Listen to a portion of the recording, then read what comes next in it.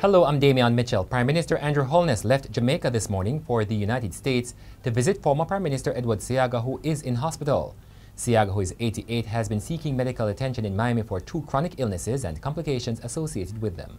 National Security Minister Dr. Horace Chang was unscathed, but two of his bodyguards received minor injuries in a motor vehicle crash this morning at the intersection of Shortwood and Grants Pen Roads in St. Andrew. A spokesperson said they were en route to the Norman Manley International Airport in Kingston, but did not disclose the cause of the crash. Prime Minister Andrew Holness says the government will be allocating additional funds to truck water to corporate area communities. It's part of a response plan to ease the water crisis, with the Mona Reservoir almost empty and the NWC meeting 37 million gallons a day of the 63 million gallons needed for Kingston and St. Andrew.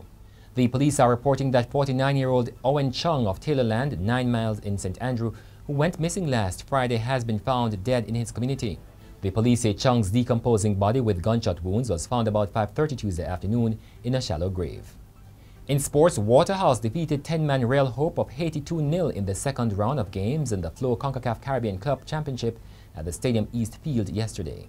In your currency trading today, one US dollar was being sold for $136.25, the British pound sterling for $180.28, and the Canadian dollar for $101.50. In your weather forecast on Thursday morning, there will be partly cloudy skies across eastern parishes.